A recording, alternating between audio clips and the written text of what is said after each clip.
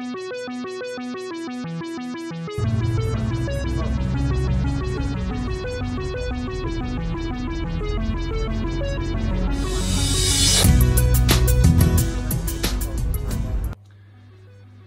tout le monde, bien arrivé à Weihai.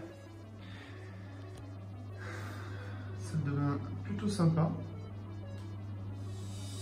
Les chambres également, un très beau lit. Pourrait être pire. On a eu 2-3 snacks chinoises. Mais on s'est réveillé à 5h du matin ce matin, donc c'était assez, euh, assez fatigant. Mais voilà, je vais faire la sieste et puis je vous dis à bientôt.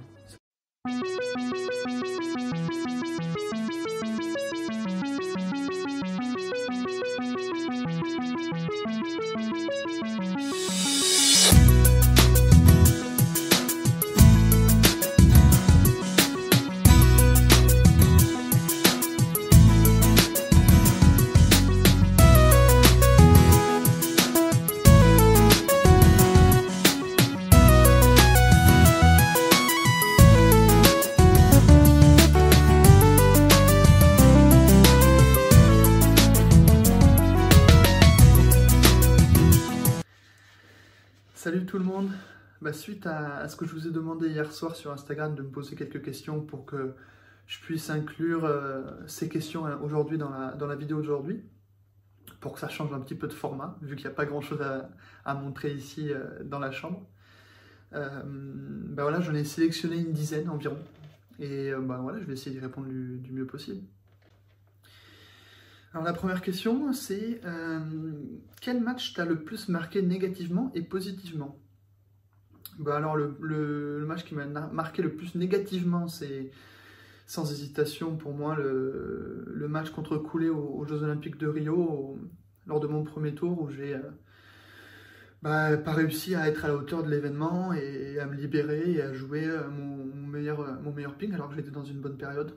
C'est quelque chose qui, a été toujours, qui est toujours difficile pour moi à, encaisser et c'est pour ça que j'ai hâte qu'il y ait de nouveau des Jeux Olympiques pour essayer de, me rattraper.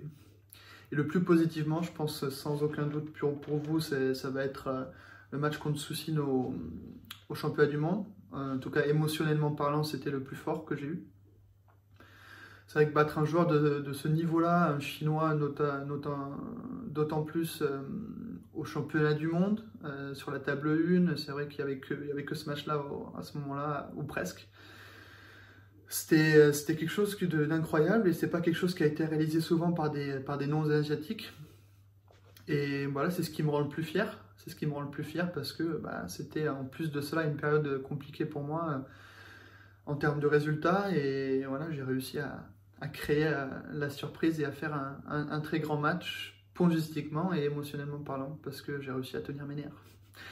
Et puis euh, sinon, euh, l'autre match qui me marque aussi, c'est contre Soussine également. Mais au Qatar, celui-là, je l'ai perdu. Je pense que c'est le, match où j'ai le mieux joué en termes de tennis de table pur de, ma vie. Et même si je l'ai perdu, euh, c'était un grand moment de ping.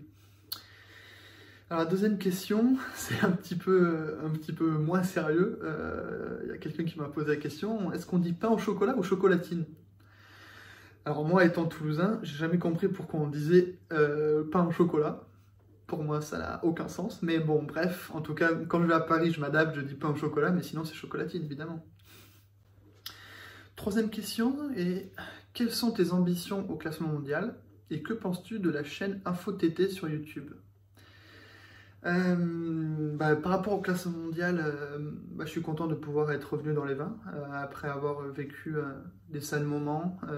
Revenir dans les 20 avec le niveau actuel, c'est une chose qui me rend, qui me rend fier déjà. Et puis peut-être avec la maturité, j'ai moins envie de me précipiter et de me dire allez demain 18, après demain 17, 16 et puis ainsi de suite. Non, je pense que avec le niveau que j'ai actuellement, je pense que je peux prétendre à mieux. Mais en tout cas je fais mon petit bonhomme de chemin euh, et puis j'espère euh, rentrer dans les, dans les 15 euh, prochainement, mais en tout cas je ne me mets pas la pression et j'espère que ça, arrivera naturellement.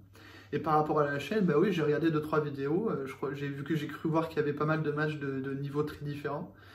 C'est cool qu'il y ait des passionnés de, de ping comme ça en France et bah voilà, très belle chaîne. quatrième question, c'est comptes-tu rester longtemps à Oxenhausen? Et sinon, te vois-tu revenir en France un jour euh, Alors, bah, Oxenhausen, ouais, moi je me sens très bien. J'ai mon contrat qui court euh, seulement jusqu'à juin 2021, donc euh, c'est ma dernière saison officiellement. J'espère pouvoir rester le plus longtemps possible, après on ne sait jamais ce qui peut se passer. Mais oui, moi je, me sens très bien, ça fait longtemps que je suis là, je suis arrivé en tant que numéro 100 mondial et je suis arrivé dans le top 10 et puis je, suis là où je suis actuellement. Donc euh, non, je suis très content de comment ça se passe et j'ai évidemment envie de rester. Et puis euh, par rapport à la France, bah, c'est mon pays de cœur. Euh, voilà, j'ai évidemment que ça pourrait être quelque chose qui m'intéresserait, mais pour le moment, je m'y vois pas. La cinquième, c'est quel coup du tennis de table est le plus difficile à réaliser selon toi? Alors le ping est pour moi le sport, ou un des sports les plus techniques du monde. Moi qui, m'intéresse à beaucoup de sports et qui aime beaucoup de sports et qui suit beaucoup de sports. Euh, je pense que le ping est vraiment techniquement parlant euh, un des, plus complexes, un des plus complexes dans le monde. après, voilà, il y a le, c'est un sport qui nous rend fou, on est d'accord. Hein, je veux dire, on peut jouer la balle en coup droit et en fonction de comment tu la touches, à un degré différent d'inclinaison, la balle peut partir dans les, dans les vaches ou dans le filet. Donc euh, ça rend fou, mais je dirais que le, coup droit est le, coup le plus difficile à réaliser parce qu'on a besoin de, de relâchement, d'engagement physique, d'abdos, de position des jambes, de déplacement. Euh, d'ajustement en profondeur, euh, en hauteur, et c'est vraiment, euh, vraiment très compliqué. C'est celui qui, à mon avis, qui demande le, plus de boulot, et le revers est, est souvent plus naturel chez, chez, les gens que le coup droit. Alors la sixième question est, es-tu fier de ton parcours? Et selon toi, qui sont les espoirs français?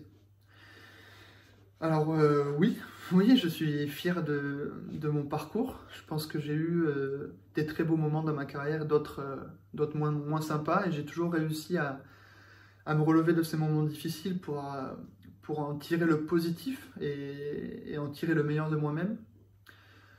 J'ai que 26 ans, donc j'espère qu'il me reste encore une bonne dizaine d'années à, très haut niveau. En tout cas, c'est ce que j'espère. Et, et, voilà, mais en tout cas, ce qui me rend le plus fier, c'est de tout faire au quotidien pour, pour arriver le, le plus loin possible. J'ai des rêves, j'ai des ambitions, mais peut-être qu'un jour, à la fin de ma carrière, ben, je serai à la limite ou pas loin d'avoir réalisé ces, ces, rêves, mais peut-être que je ne les aurais pas réalisés.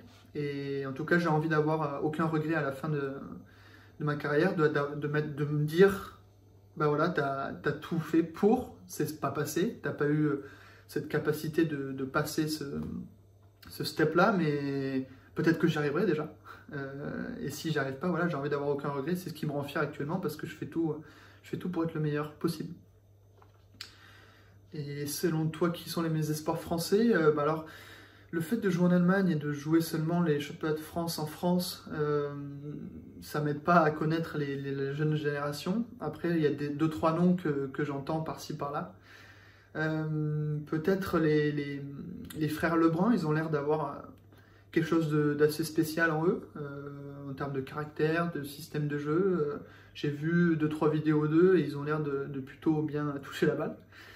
Euh, donc peut-être eux, et puis j'ai ensuite entendu, et moi je connais un petit peu Flavien Coton qui s'entraîne de temps en temps en, Allemagne, et bah, il joue très bien, après il est encore très jeune, donc ça, ça il y a encore plus de possibilités que ça aille dans, dans les deux sens, mais en tout cas s'il garde ce cap, il joue très bien. Cette prochaine question, c'est peux-tu détailler ta préparation physique et ton alimentation? Alors, euh, mon alimentation, euh, c'est assez simple. Euh, je j'essaie de, bah, déjà de ne pas manger de, bêtises, pour être poli. Mais on va dire que je, je me restreins pas trop sur, sur certaines choses. Alors évidemment, fast-food, tout ça, c'est pas le top, j'en mange pas. Ou alors très rarement. Mais c'est surtout sur le sucre en fait, sur les, bonbons, gâteaux, euh, les, sodas. Alors ça m'arrive de boire de temps en temps des sodas, mais par contre ça m'arrive très très très rarement de, prendre des sucres rapides comme les bonbons ou les, gâteaux. Je pense que c'est le, le sucre ajouté sont le, pire qui puisse être pour un corps, euh, et encore plus de sportifs, donc euh, ça non. Et, puis sinon, par rapport à la préparation physique, alors oui, là je, on en fait énormément avec Michael Simon, qui, est un coach physique français qui travaille avec moi, en Allemagne. Bah, on a un programme très très précis. C'est beaucoup sur la vivacité. Alors je suis quelqu'un de à la base un peu lourd, pas très vif et, pas très fort physiquement. Alors je pense que j'ai bien évolué physiquement. On a bien bossé. J'ai la chance euh, de, pouvoir euh, prendre euh, de la masse musculaire assez rapidement. Mais j'ai aussi le désavantage de, de, prendre du poids rapidement. Du coup, d'où l'alimentation et pas de sucre. C'est ce qui me fait le plus mal.